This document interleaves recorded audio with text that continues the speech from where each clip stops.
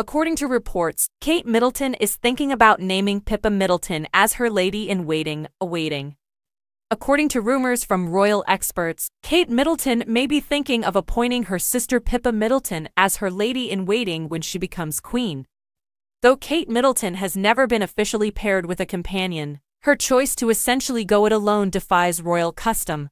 She will become queen with the accession of her husband, Prince William, and many speculate that she may choose to appoint a few trusted advisors to assist her in her role.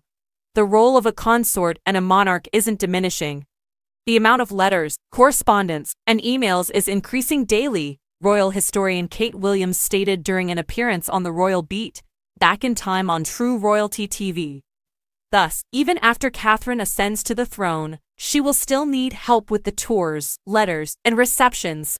Thus, it appears that she will need to designate some ladies in waiting.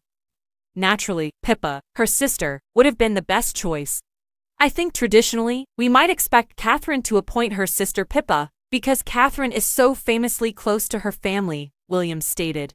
She lives alone because she is very close to her sister and mother. I believe we may reasonably anticipate Pippa to be someone she might designate.